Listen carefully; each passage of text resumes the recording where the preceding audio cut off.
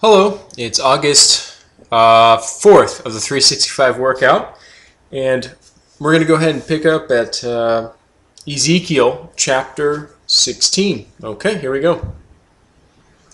Again, the word of the Lord came to me, saying, Son of man, cause Jerusalem to know her abominations, and say, Thus says the Lord God to Jerusalem, Your birth and your nativity are from the land of Canaan your father was an Amorite, and your mother a Hittite. As for your nativity, on the day you were born your navel cord was not cut, nor were you washed in water to cleanse you. You were not rubbed with salt nor wrapped in swaddling clothes. No eye pitied you. No eye pitied you to do any of these things for you, to have compassion on you but you were thrown out into the open field when you yourself were loathed on the day you were born. And when I passed you by, when I passed by you, and saw you struggling in your own blood, I said to you in your blood, Live! Yes, I said to you in your blood, Live! I made you thrive like a plant in the field, and you grew, matured, and became very beautiful. Your breasts were formed, and your hair grew, but you were naked and bare. When I passed by you again, and looked upon you, indeed your time was the time of love. So I spread my wing over you, and covered your nakedness. Yes, I swore an oath to you, and entered into a covenant with you, and you became mine, says the Lord God. Then I washed you in water, yes, I thoroughly washed off the, your blood, and I anointed you with oil. I clothed you in embroidered cloth, and gave you sandals of badger skin. I clothed you with fine linen, and covered you with silk. I adorned you with ornaments, but bracelets put bracelets on your wrist, and a chain on your neck.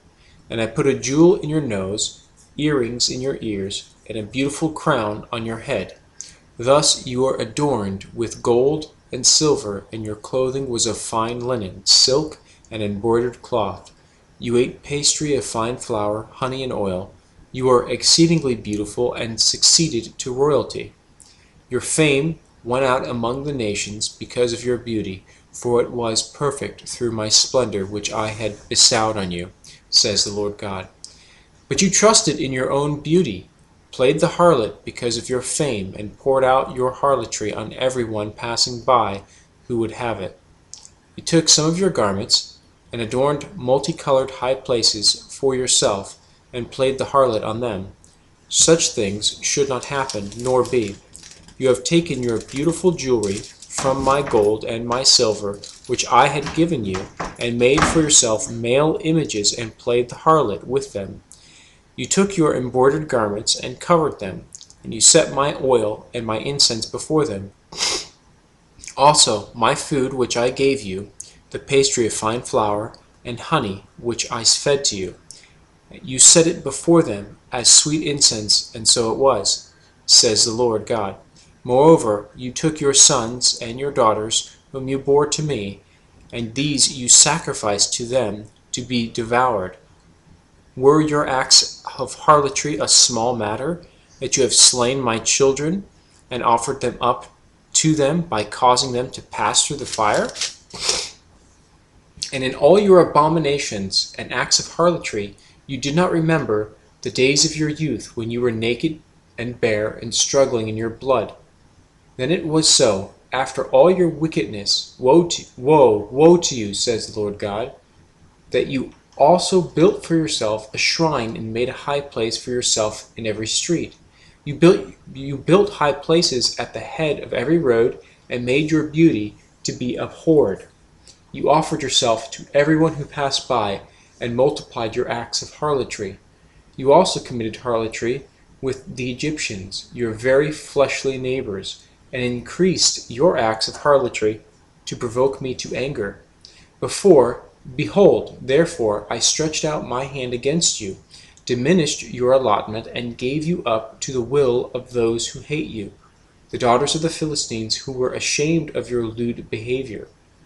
You also played the harlot with the Assyrians because you were insatiable. Indeed, you played the harlot with them, and still were not satisfied. Moreover, you multiplied your acts of harlotry as far as the land of the traitor, Chaldea, and even then you are not satisfied. How degenerate is your heart, says the Lord God, seeing you do all these things, the deeds of a brazen harlot. You erected your shrine at the head of every road, and built your high place in every street. Yet you are not like a harlot, because you scorned payment.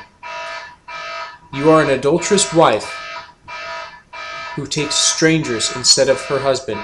Men make payment to all harlots, but you made your payment to all your lovers, and hired them to come to you from all around for your harlotry.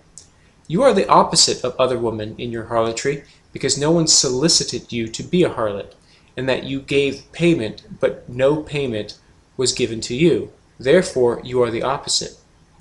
Now then, O harlot, hear the word of the Lord. Thus says the Lord God, because your filthiness was poured out, and your nakedness uncovered in your harlotry, with your lovers, and with all your abomination, abominable idols, and because of the blood of your children which you gave to them, surely, therefore, I will gather all your lovers with whom you took pleasure, all those you loved and all those you hated. I will gather them from all around against you, and will uncover your nakedness to them, and they may see all your nakedness. And I will judge you as a woman who break who break wedlock or shed blood are, are judged. And I will bring blood upon you in fury and jealousy. I will also give you into their hand, and they shall throw down your shrines and break down your high places they shall also strip you of your clothes, take your beautiful jewelry, and leave you naked and bare. They shall bring up an assembly against you, and they shall stone you with stones and thrust you through with their swords. they shall burn your houses with fire, and execute judgments on you in your sight, on you in the sight of many women. And I will make you cease playing the harlot, and you shall no longer hire lovers. So I will lay to rest my fury toward you, and my jealousy shall depart from you. I will be quiet and be angry no more, because you did not remember the days of your youth, but agitated me with all these things. Surely I will also recompense your deeds on your own head, says the Lord God, and you shall not commit lewdness in addition to all your abominations. Indeed, everyone who quotes Proverbs will use this proverb against you like mother, like daughter. You are the mother's, you are your mother's daughter, loathing your husband and children, and you are the sister of your sisters, who loathe their husbands and children. Your mother was a Hittite, and your father an Amorite. Your elder sister is Samaria, who dwells with her daughters to the north of you, and your younger sister, who dwells to the south of you, is Sodom and her daughters. You did not walk in their ways, nor act according to their abominations, but as if that were too little, you became more corrupt than they in all your ways. As I live, says the Lord God, neither your sister Sodom nor her daughters have done as you and your daughters have done. Look, this was the iniquity of your sister Sodom. She ate, and her daughter had pride, fullness of food, and abundance of idleness neither did she strengthen the hand of the poor and the needy. And they and they were haughty and com- and committed abomination before me. Therefore I took them away as I saw fit. Samaria did not commit half of your sins, but you have multiplied your abominations more than they, and have justified your sisters by all the abominations which you have done. You have judged your sisters. Bear your own shame also, because the sins which you committed are more abominable than theirs. They are more righteous than you. Yes, be disgraced also, and bear your own shame, because you justified your sisters. When I bring back their captives, the captives of Sodom and her daughters, and the captives of Samaria and her daughters, then I will also bring back the captives of your captivity among them that you may bear your own shame and be disgraced by all that you did when you comforted them. When your sisters, Sodom and her daughters, return to their former state, and Samaria and her daughters return to their former state, then you and your daughters will return to your former state. For your sister Sodom was not a byword in your mouth in the days of your pride. Before your wickedness was uncovered, it was like the time of the reproach of the daughters of Syria and all those around her, and of the daughters of the Philistines who despise you everywhere. You have paid for your lewdness and your abominations, says the Lord. For thus says the Lord God, I will deal with you as I have as you have done, who despise the oath by breaking the covenant.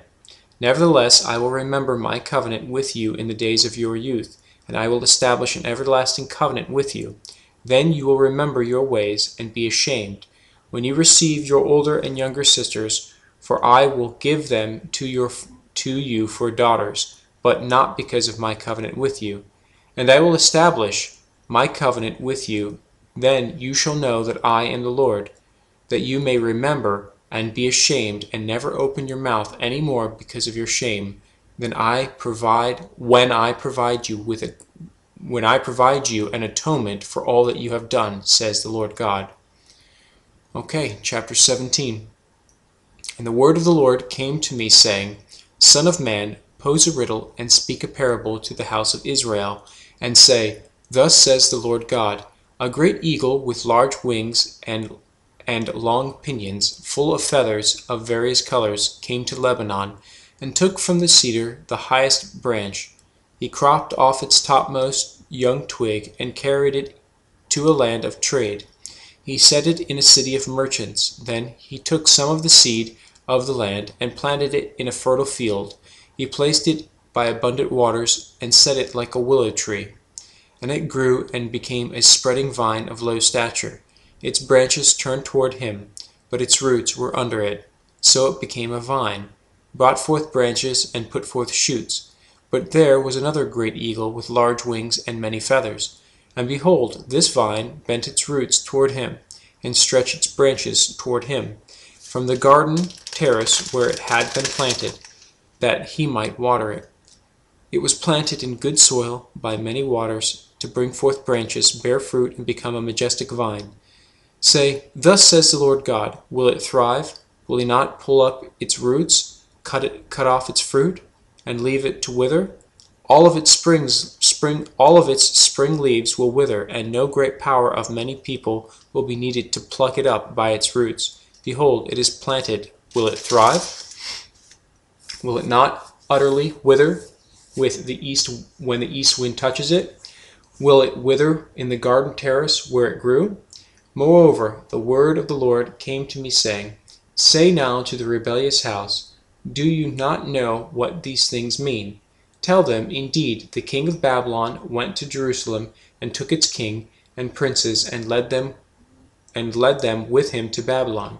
And he took the king's offspring, made a covenant with him, and put him under the oath.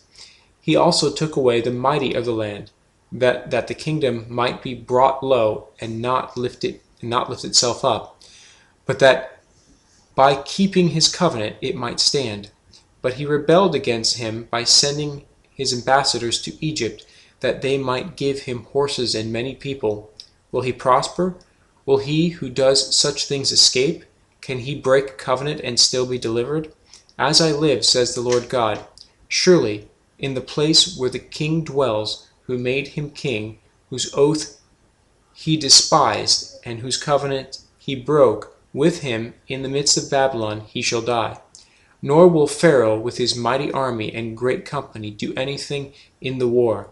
When they heap up a siege mound and build a wall to cut off many persons, since he despised the oath by breaking the covenant, and in fact gave his hand, and still did all these things, he shall not escape. Therefore, thus says the Lord God as I live, surely my oath which he despised, and my covenant which he broke, I will recompense on his own head. I will spread my net over him, and he shall be taken in my snare, and I will bring him to Babylon, and try him there for the treason which he committed against me. All his fugitives, with all his troops, shall fall by the sword, and those who remain shall be scattered to every wind, and you shall know that I, the Lord, have spoken. Thus says the Lord God I will take also one of the highest branches of the high cedar and set it out. I will crop off the topmost of its young twigs, a tender one, and will plant it on a high and prominent mountain. On the mountain height of Israel I will plant it, and it will bring forth boughs and great fruit, and be, majest- and be a majestic cedar. Under it will dwell birds of every sort. In the shadow of its branches they will dwell and all the trees of the field shall know that I, the Lord, have brought down the high tree, and exalted the low tree, and dried up the green tree, and made the dry tree flourish. I, the Lord, have spoken and have done it. Okay, we'll end there and pick up tomorrow. That's August 5th at chapter 18. Keep up the good work. Until then.